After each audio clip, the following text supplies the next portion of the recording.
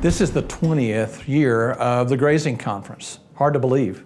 But with the prices of fuel and the prices of inputs, the whole idea of getting your livestock to harvest the feed for you uh, is just resonates with people, and as it should. I mean, it's it's something we know in Kentucky. We can do a lot of it. The grazing season uh, can be extended.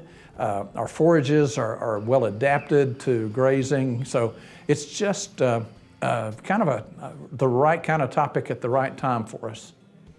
I feel like the highlight of today's conference was that we're bringing together the plant, the animal, and the soil.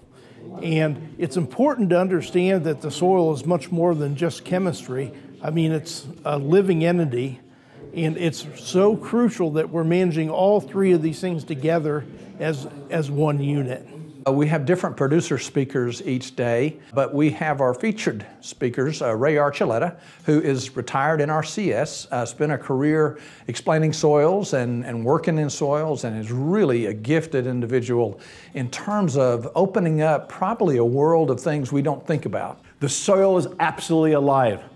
It is absolutely shocking what I have learned that I really did not understand that the soil runs on intelligent design. It is the most complex ecosystem on the planet.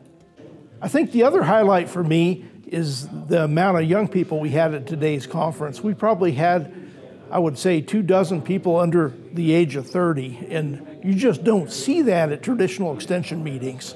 And that really tells us that we put together a conference that really attracted people who are interested in in doing the right thing on their farms and improving their management.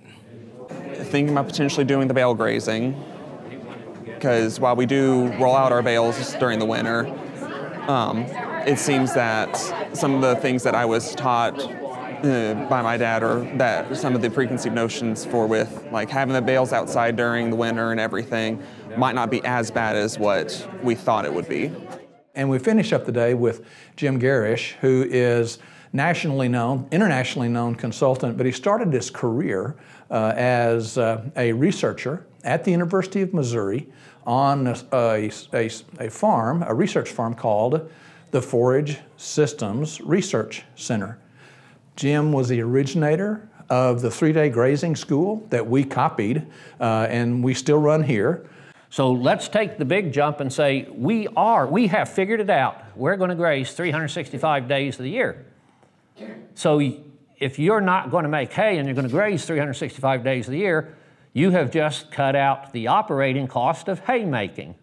We're glad to have him back in Kentucky. He's actually a UK grad, and he knows Kentucky and he knows grazing. And you put those two speakers bookending, you know, a program full of producers and some of our best uh, people, Greg Halich, Les Anderson, Nick Roy, agent in Adair County, Fred Thomas, working with him as a, as a producer. Uh, you, it's just been a great couple of days for us. We are so happy to have everyone at, at this year's grazing conference. Um, we're looking forward to next year's grazing conference already.